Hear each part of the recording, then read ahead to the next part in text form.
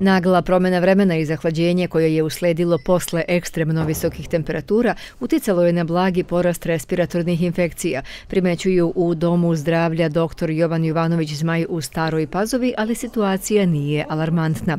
Uglavnom su u pitanju infekcije gornjih disajnih organa, kijavica, zapušen nos, upala sinusa i grla, redko bronhitis i upala pluća. Često se javlja i temperatura koja za sad e, ne dostiže neke ove, visoke vrednosti. To su uglavnom vrednosti od 37 sa 5 do 38.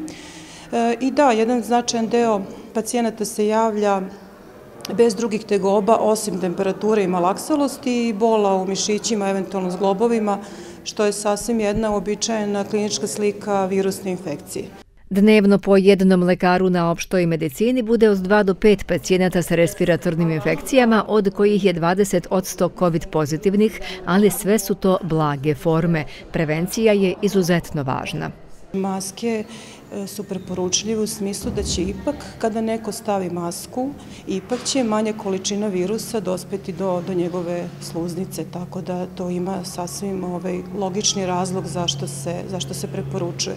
Isto tako, E, e, boravak u zatvorenom prostoru sa velikom, velikim brojem ljudi, sigurno da će povećati šansu da je neko tu inficiran i da virus dođe do, do našeg organizma. Usled nižih temperatura na koje nismo bili spremni, bilo je i više urinarnih infekcija, bolova u mišiću, kičmi i ušinuća, također pogoršanje hroničnih oboljenja. Doktorka Biljana Grubić-Dedijer, načelnica službe opšte medicine, savjetuje zdrav način života i jačanje imunog sistema organizma.